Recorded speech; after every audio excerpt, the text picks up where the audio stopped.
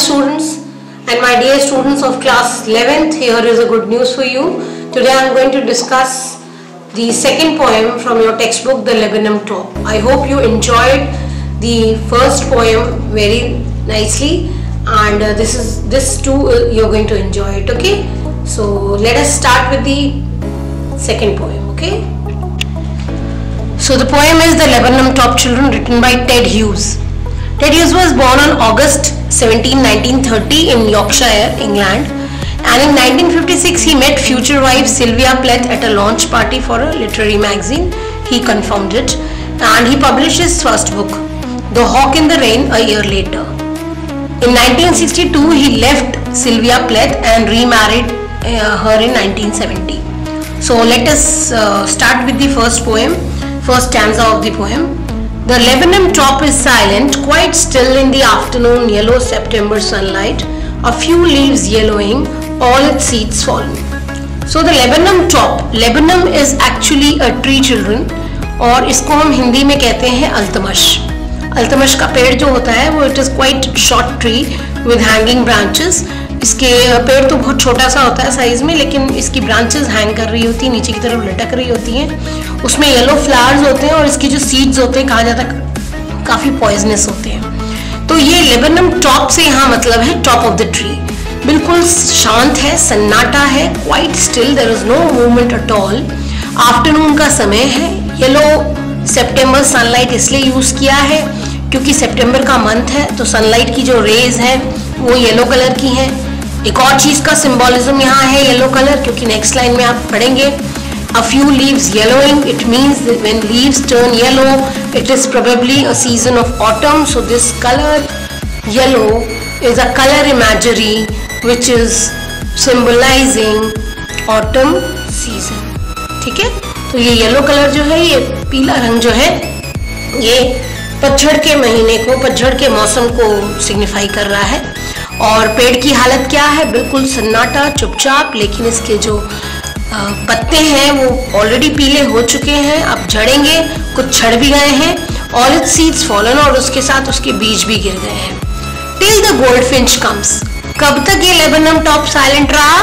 तब तक, जब तक गोल्ड फिंच नहीं आई थी। गोल्ड फिंच एक बर्ड होती है और इसकी कैरेक्टरिस्टिक ये होती है कि एक बहुत ही छोटी सी सिंगिंग बर्ड है। इसके फेदर्स येलो होते हैं स्पेशली विंग्स पर थोड़ा ब्लैक और थोड़ा चेहरे पर ब्लैक और टेल एंड पर ब्लैक कलर होता है अदरवाइज़ बहुत ही खूबसूरत येलो कलर की बर्ड दिखती है till the goldfinch come so top तब तक साइलेंट था लेबनम ट्री तब तक साइलेंट था, जब तक गोल्ड फिंच बर्ड नहीं आई थी।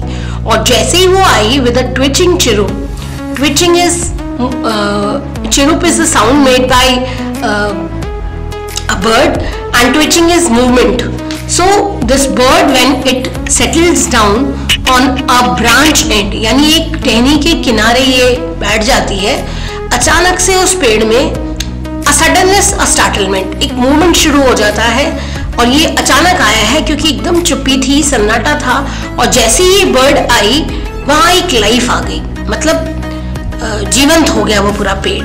Then sleek as a lizard अब ये स्लीक एज अ लिजर्ड अच्छा पहले इससे पहले बच्चों जो सेकेंड लाइन थी सेप्टेम्बर सनलाइट इसमें कौन सा फिगर स्पीच है मैं कई बार आप लोगों को बता चुकी हूँ जब अल्फ़ाबेट रिपीट होते हैं तो इट इज़ कॉल्ड एलिट्रेशन तो ये सेकेंड लाइन प्लीज़ हाईलाइट कर लीजिएगा and write down alliteration in your textbooks A suddenness, a startlement at a branch end. So when this bird is sitting at a branch end, all of a sudden a life comes to the tree. Then sleek.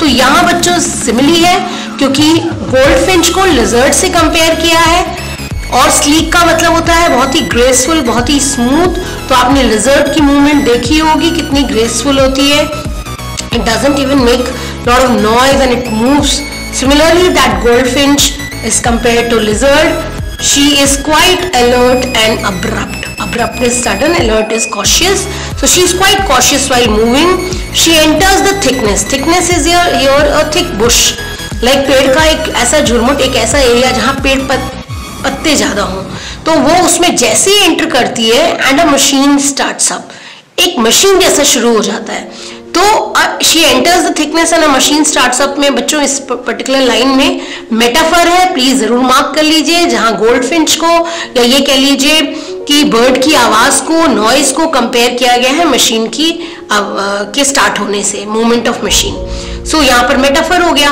अब एक जैसे machine start होती है, यहाँ पर क्या शुरू हो गया? Of chitterings and a tremor of wings and trillings chittering मतलब ट्विटरिंग मतलब बर्ड्स ने चहचाना शुरू कर दिया। ट्रेमर ऑफ़ विंग्स ट्रेमर का मतलब ऐसे शेक होता है, लेकिन यहाँ पर पंख के फड़फड़ाने को ट्रेमर कहा गया है। और ये ट्रेमर जो है, ये जो विंग्स इसके वाइब्रेट हो रहे हैं शेक कर रहे हैं, ये एक एक्साइटमेंट शो कर रहा है कि प्रोबेबली उस पेड़ के अंदर जहाँ अभी गोल्डफिंच घुसी है, वहाँ उसका घोंसला है। It has got its nest and probably the young ones are so happy that mother has arrived and they have started twittering and chittering okay and trillings trillings मतलब हाई पिच्ड वॉइस तो अचानक से वो noise बढ़ जाता है और पूरा का पूरा पेड़ कांपने लगता है। It trembles and thrills and this trembling is because of excitement young ones are so excited that mother had come along with food. The whole tree trembles and thrills में बच्चों पर्सोनिफिकेशन भी है और ट्री ट्रेम्बल्स में देखिए आप alliteration भी है क्योंकि टी रिपीट हो रहा है। और इस पूरी लाइन में पर्सोनिफिकेशन है बिकॉज़ ट्री को कांपते हुए दिखाया है, यानी उसको ह्यूमन लाइक क्वालिटीज दी गई हैं। सो पर्सोनिफिकेशन कब होता है? जब किसी इनएनिमेट ऑब्जेक्ट को हम एनिमेट बनाते हैं, उसे human like life like qualities देते हैं तो यहाँ ट्री को हमने life like qualities the. So what has happened the whole tree has started living एक एक्साइटमेंट आ गई है, बच्चे खुश हो गए। It is the engine of our family यहाँ पे भी बच्चे बहुत इंपॉर्टेंट मेटाफर है, जहाँ पर गोल्ड फिंच को इंजन कहा गया है। वो अपने परिवार का इंजन है। जैसे कोई मशीन होता है, अगर उसका इंजन काम ना करे तो मशीन बेकार है। Similarly she is also dragging the the food, she is arranging the food for her young ones. तो she is engine of her family. So, यहाँ पर बहुत important metaphor है बच्चों। इसलिए इसको highlight करके ज़रूर M लिख लीजिए, या metaphor पूरा लिख लीजिए। She stokes it full. तो वो उसको पूरी तरीके से स्टोक करती है, बच्चों को प्यार कर रही है। She is making it full पूरा अच्छे से भर कर जा रही है खाना ताकि अगली बार अगर आने में लेट हो जाए तो एटलीस्ट बच्चे भूखे ना मरें। And then when she has shown her love to her young ones she has fed them then she flirts out to a branch and फिर उसी ब्रांच के किनारे जाती है और अब उसे उड़ना है। अब वो उड़ान भरने की तैयारी में है, लेकिन उससे पहले फिर वो एक बार पलट कर अपने बच्चों को देखती है। Showing her barred face identity mask. अब आप बहुत इंपॉर्टेंट है बच्चों। आप गोल्ड फिंच की इमेज देखिएगा और उस इमेज में आप ये ध्यान दीजिएगा कि उसके चेहरे पर एक ब्लैक कलर का मास्क होता है। आपने क्रिश मूवी देखी होगी, उसमें कैसे ऋतिक रोशन ने मास्क पहना हुआ है। वैसे ही यहाँ पर जो गोल्डफिंच बर्ड है इस, इसके चेहरे पर ये मास्क होता है। तो वो अपना ये बार्ड चेहरा इसलिए भी दिखा रही है अपने बच्चों को ताकि उसके बच्चे अच्छे से उसको पहचान जाएँ और किसी और को ना आने दें घोंसले में। तो वो एक बार और शायद अब लंबा वक्त है कि थोड़े वक्त के बाद आएगी बच्चों से मिलने के लिए इसलिए भी वो एक बार मुड़कर बच्चों को देखती है।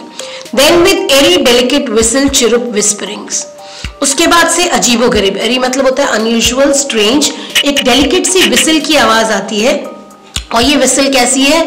चिरुप विस्परिंग वही, जो बर्ड्स हैं, वो they are making noise they are chirping they are chirping they are whispering और फिर वो एक उड़ान भर लेती है। She launches away towards the infinite and the laburnum subsides to empty और उड़ान भरती है किस तरफ़? इनफाइनाइट की तरफ़। तो इनफाइनाइट का मतलब है यहाँ पर endless sky and the laburnum subsides to empty और फिर जैसे शुरुआत में लेबनम टॉप एकदम शांत था, वैसे ही लेबनम दोबारा एकदम सन्नाटा, एकदम चुप्पी, एकदम शांति, वैसे ही चुपचाप हो जाता है। तो आई होप बच्चों, आपको पोएम समझ में आई होगी।